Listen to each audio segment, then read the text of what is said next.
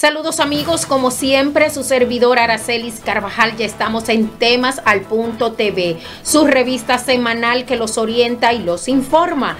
Gracias porque Vanessa Vázquez, quien es la productora general de este programa, nos permite llevar esta entrega hasta ustedes. Bueno, señores.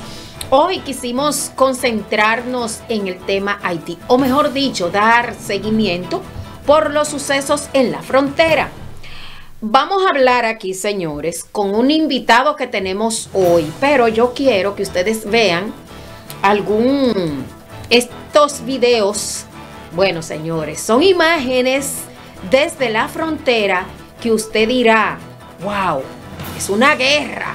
Ya eso no es un conflicto entre bandas, ni esos son problemas de calles, ni, ni nada de eso. Bueno, señores, Haití es una nación empobrecida Haití es una nación que necesita la atención de la comunidad internacional.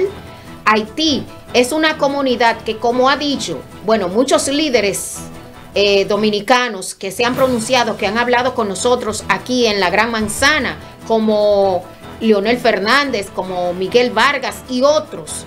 Pero también hemos visto que el presidente Luis Abinader, consciente de lo que está pasando, ha llamado la atención de esa comunidad internacional para que señores se unan todos y vayan en auxilio de Haití. Antes de entrar con el tema, vámonos a un resumen de lo que acontece en los Estados Unidos que nos tiene nuestra compañera Vanessa Vázquez.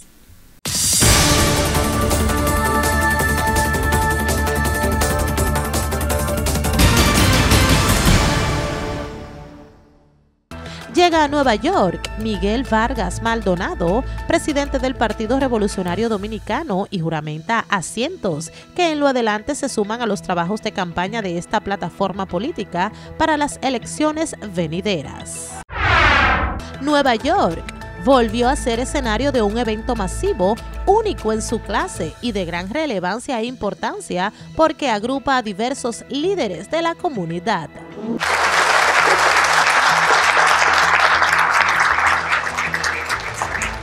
Se trata de la nueva edición de la revista Prevención de Nueva York, que preside el líder comunitario Manuel Núñez, una actividad realizada en la Gran Manzana y donde se dieron citas, como cada año, varios jueces que junto a esta entidad han luchado para erradicar uno de los males que afecta al mundo, el alcohol y las drogas. Los dominicanos de Nueva York siguen recolectando ayuda para su país para no dejarle la carga solo al gobierno que preside Luis Abinader. La realidad es que ante la situación generada principalmente en el norte y el noroeste del país caribeño por el paso de Fiona hace una semana, el primer mandatario de esa nación ha pedido al legislativo la declaración del estado de emergencia durante 45 días en 12 provincias. La temporada de huracanes inicia con fuerza. Dos poderosos fenómenos han afectado a varios países como Fiona e Ian.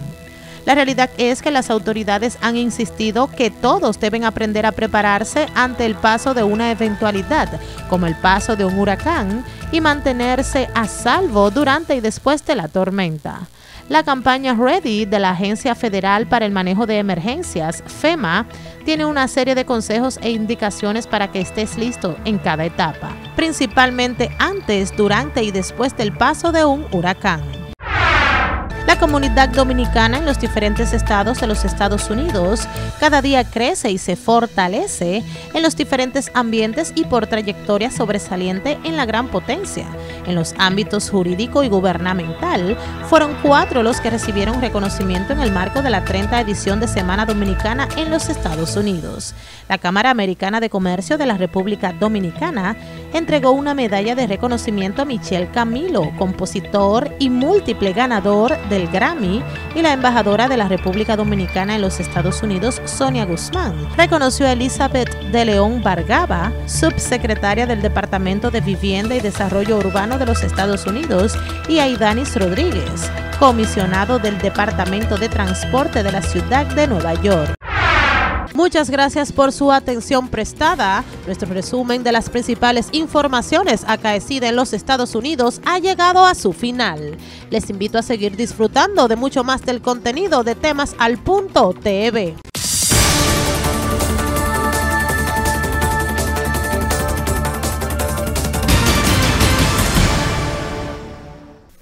Muchas gracias por continuar con nosotros. Acaban de ver un resumen de las principales informaciones que ocurren en los Estados Unidos. Señores, yo tengo un invitado, y más que un invitado de la casa, porque es un colega, Félix Betances. Y no es familia de Junior Betances, no, es que ellos los dos tienen el mismo apellido. Bueno, yo no sé. Félix, bienvenido. Gracias por, tu, por sumarte a esta gran familia. Hola, muchas gracias, Araceli. Buenas tardes a todo el público que te ve diariamente en tu programa. Como ya dijiste, mi nombre es Felipe Tance. Es un placer para mí poder pertenecer a esta gran familia del periodismo acá en los Estados Unidos. Bueno, Félix, eres un experto y no hay que decirte mucha cosa. Tú sabes lo que está pasando en nuestro país, Quisqueya Bella y Hermosa. Quise debatir este tema hoy en Temas al Punto TV porque realmente nos preocupa todo. A la comunidad dominicana en el exterior, sobre todo porque tienen familiares en la República Dominicana, pero peor, a los que viven en el lado fronterizo. Ya saben lo que está pasando, la crisis de Haití que afecta a la República Dominicana, las pandillas, el desorden que hay. Eso es así, hay un gran problema que se está originando y se está, pues, se está saliendo casi de control por parte de las autoridades porque es difícil mantener controlada lo que es la zona fronteriza para que el paso de los inmigrantes haitianos eh, no pasen de manera ilegal a la República Dominicana. Pero tiene un, todo tiene una raíz, todo tiene un principio. Y ese problema no viene de, no radica desde ahora.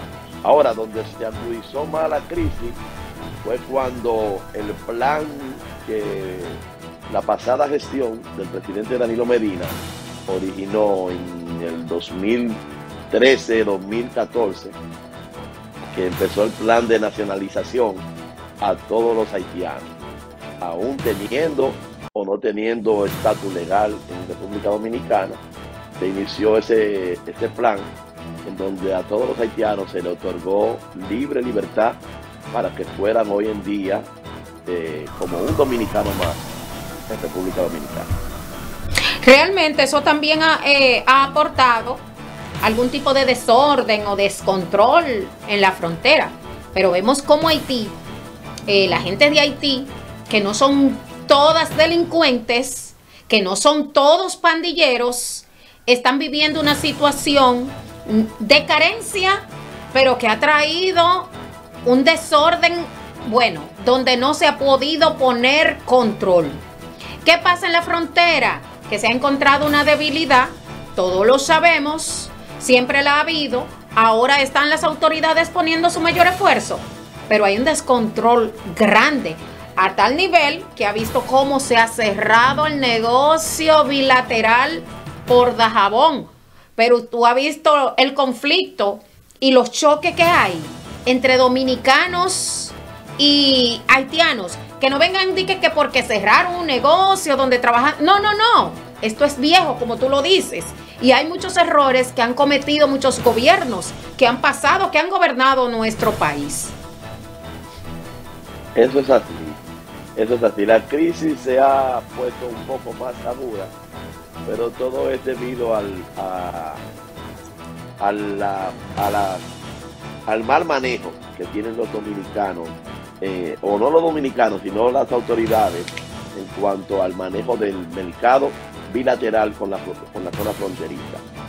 Eso es un, un mal que hay en esa parte donde no hay forma de cómo solucionar por ahora, de que se pueda convivir en paz y en bienestar entre ambas naciones.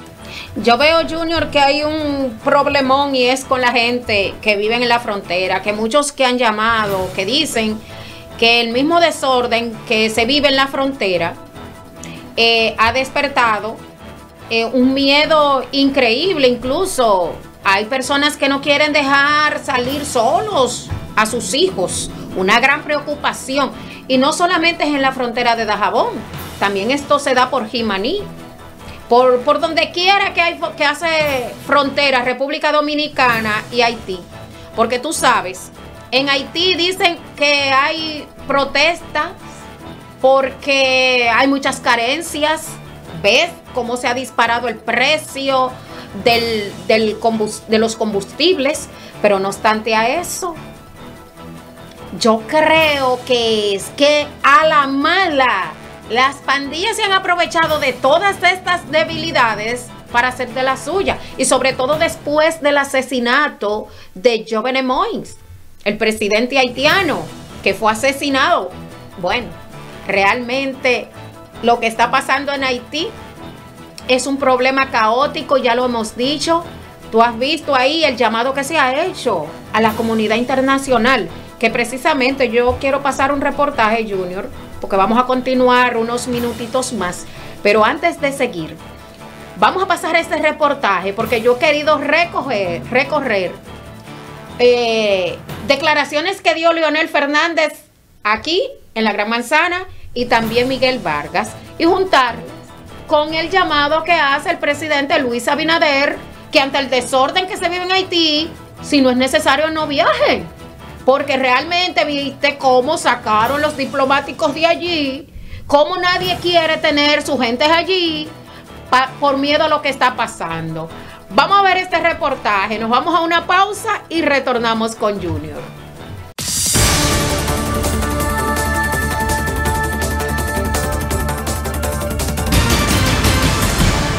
Diversos líderes dominicanos han hablado de la crisis haitiana en diferentes encuentros o actividades internacionales donde han participado y han coincidido en la misma petición a la comunidad internacional para que intervengan en el desorden reinante en la empobrecida nación que de acuerdo a muchos está controlada por bandas criminales, situación que afecta grandemente a su vecino, República Dominicana. Líderes políticos dominicanos se han pronunciado al respecto ante la desesperación que viven sus gentes por la crisis haitiana y los constantes crímenes, robos, secuestros, saqueos y otros delitos que allí se cometen.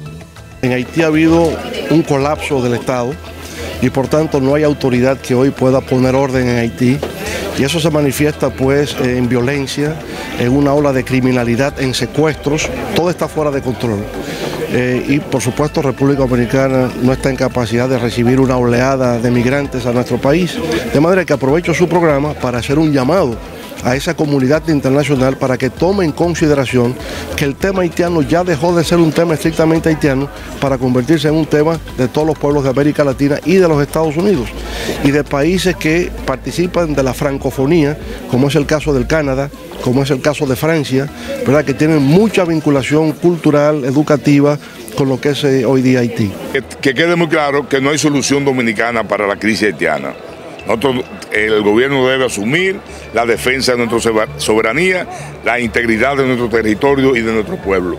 Nosotros hemos hecho propuestas muy puntuales. Lo primero que le dijimos al gobierno que deberían sacar de la agenda gubernamental todo tipo de, todo tipo de confrontación con Haití. En segundo lugar, que debía mantenerse el llamado a la comunidad internacional para que acuda a contribuir con la solución, con apoyo a la, a la, a la, crisis. Hay programas que tenemos que también impulsar, que son programas de desarrollo fronterizo, que se constituyen en muros realmente eh, y en generadores de empleo y de riqueza para, para ambos países.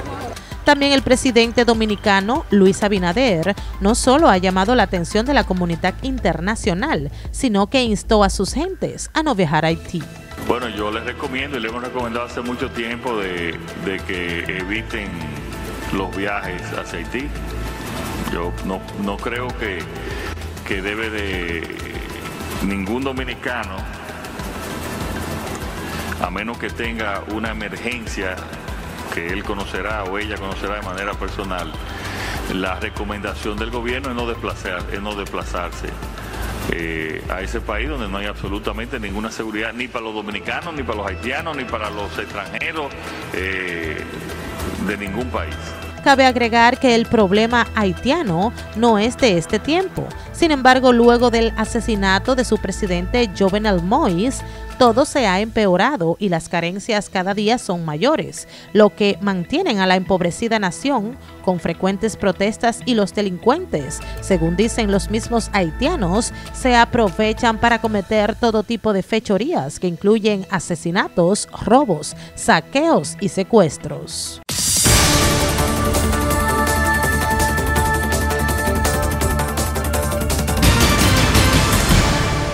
El censo es una oportunidad para conocer el presente y construir nuestro futuro. Saber cuántos somos y qué podemos lograr juntos. Cómo somos y qué nos hace únicos. Dónde vivimos. Quienes no cambiaríamos República Dominicana por nada. Y cómo vivimos y hacia dónde queremos llegar. Tú eres una pieza clave para responder todas estas preguntas. Sé parte participa del primer censo tecnológico de la República Dominicana para entender qué necesitamos y diseñar políticas públicas que mejoren nuestra calidad de vida. Sé parte. Participa del censo. Con la Colina Shipping, tu envío es sumamente cómodo y puede llegar tan lejos como tú quieras. Seguridad y rapidez. Envíos a toda la República Dominicana, desde New York, New Jersey, Pensilvania, Maryland, Washington y Connecticut. Envíos de cajas, tanques, carros, mudanzas y mucho más. Informes a los teléfonos 718-701-4347 y al 1-800-969-5612. Tu envío es más seguro con la Colina Shipping. Para comprar productos frescos y de calidad en el supermercado, hay algunos que se van a los extremos. Muy a los extremos. ¡Wow! Pero para llevar a casa los mejores embutidos, solo hay que buscar el sello de la calidad Sibao Mi. Porque son los mejores. Porque son calidad probada. Porque son tradición. Y calidad. Si no tiene este loguito, no lo pongas en el carril.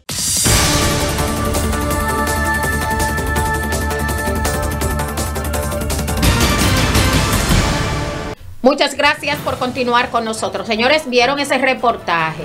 Pero vamos a concentrarnos ahora con nuestro colega Félix Betances, que siempre estoy diciéndole Junior, lo que pasa es que los dos son Betances, los dos son colegas y siempre tengo el, el choque de nombres. Félix, vamos a concentrarnos en esta parte, en hablar. ¿Hay suficiente vigilancia en la frontera de la República Dominicana con Haití? ¿Estarán bien equipados por cualquier eventualidad? Pero también vamos a hablar aquí de los organismos internacionales, de la comunidad internacional. ¿Qué va a hacer? ¿Qué está haciendo? Sabemos que los líderes se han reunido, han hablado del tema, pero falta acciones.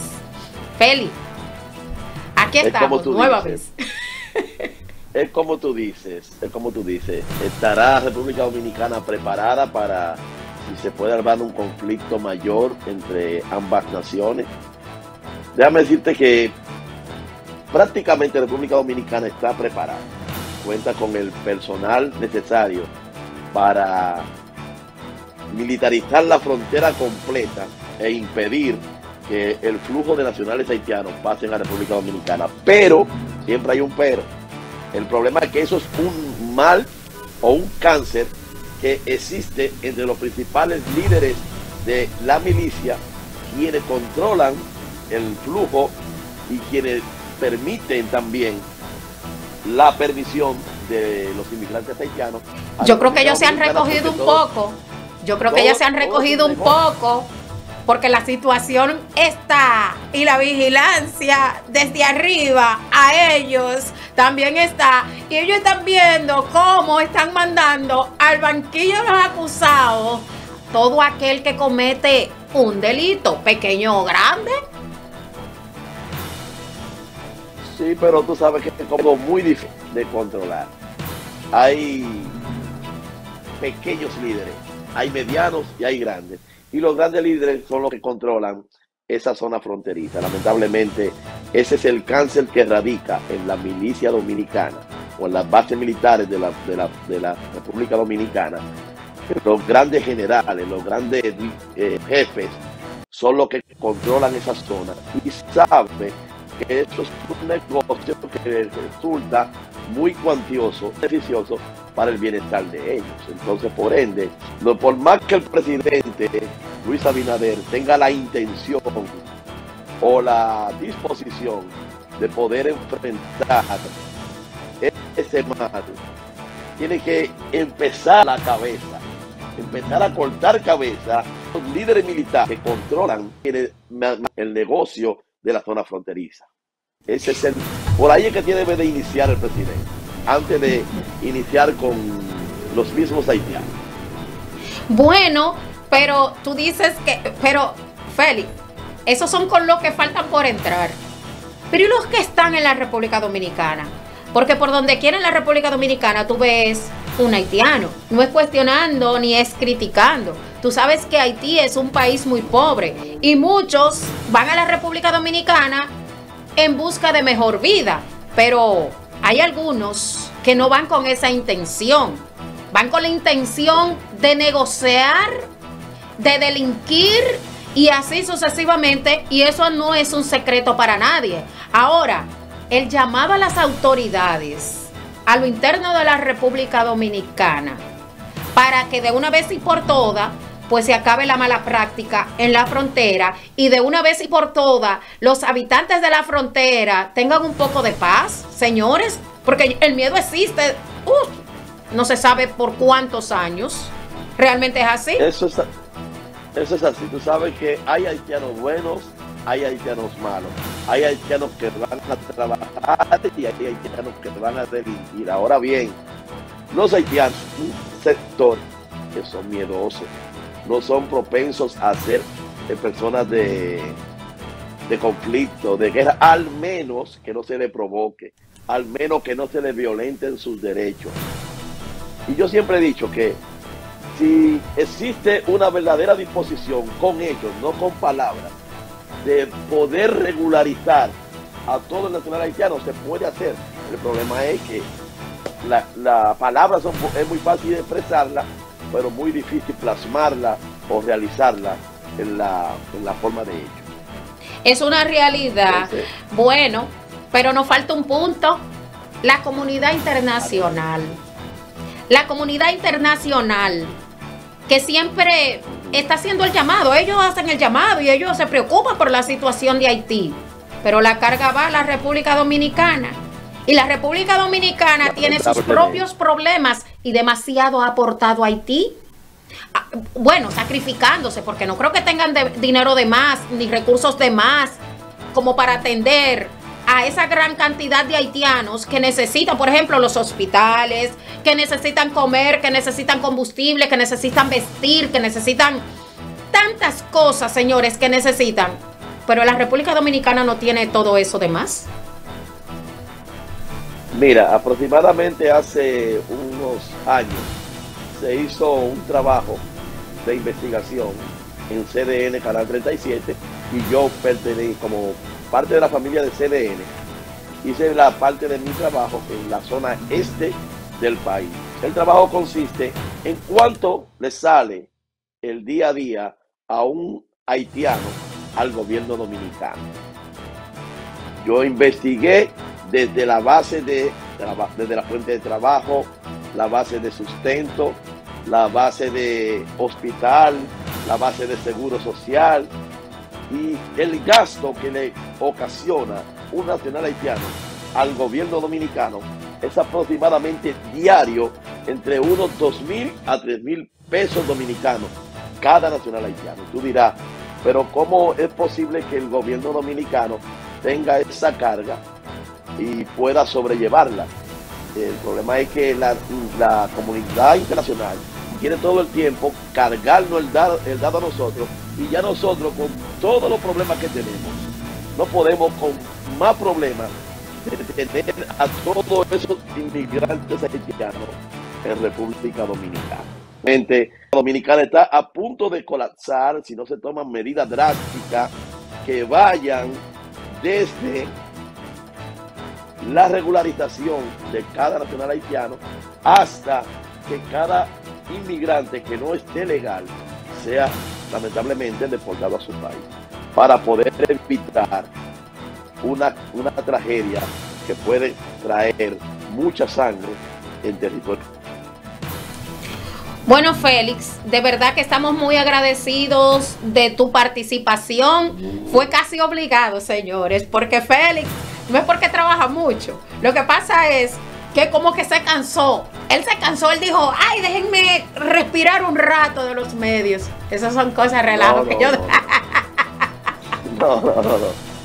Varias, varias, varias cosas que teníamos eh, nos impedían, pero ya estamos de regreso y ya estaremos eh, con más participación activa en los claro. acá en los Estados Unidos, con Dios mediante. Bueno, Félix, pues gracias por tu participación. Nosotros nos vamos a una pausa comercial y cuando retornemos, continuamos.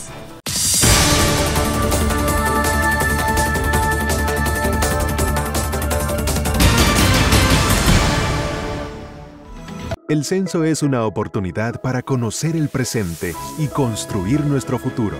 Saber cuántos somos y qué podemos lograr juntos. Cómo somos y qué nos hace únicos. ¿Dónde vivimos?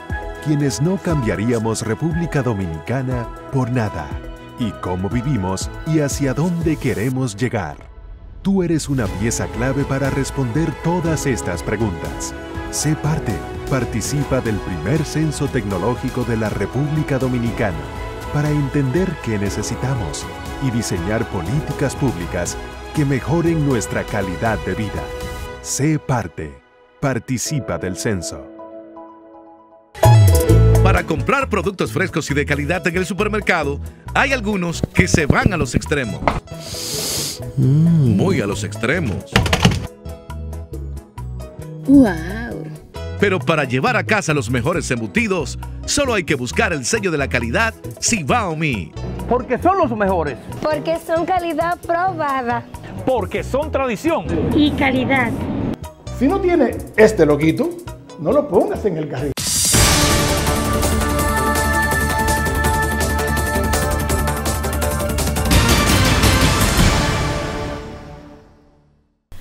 Muchas gracias por continuar con nosotros. Bueno, señores, ustedes vieron este reportaje sobre Haití.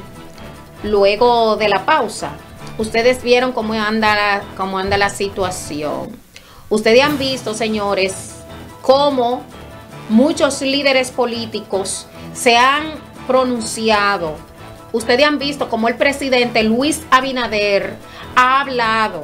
Pero no obstante a eso, cuando visitó Washington, se reunió con los líderes de la comunidad internacional, llamó su atención y dijo la realidad de Haití. Y es como dice Félix, hay que evitar eh, situaciones más incómodas, porque los dominicanos, señores, que viven sobre todo en el lado fronterizo, ellos dicen cualquier eventualidad no nos vamos a dejar, vamos a estar preparados. Bueno, señores, nos vamos. Gracias por la atención prestada. Los veo nueva vez el domingo en temas al punto y mañana recuerden nuestro informativo América al Día, donde continuamos con las informaciones para que usted se entere de todo lo que acontece en el mundo. Su servidora Aracelis Carvajal. Bye bye.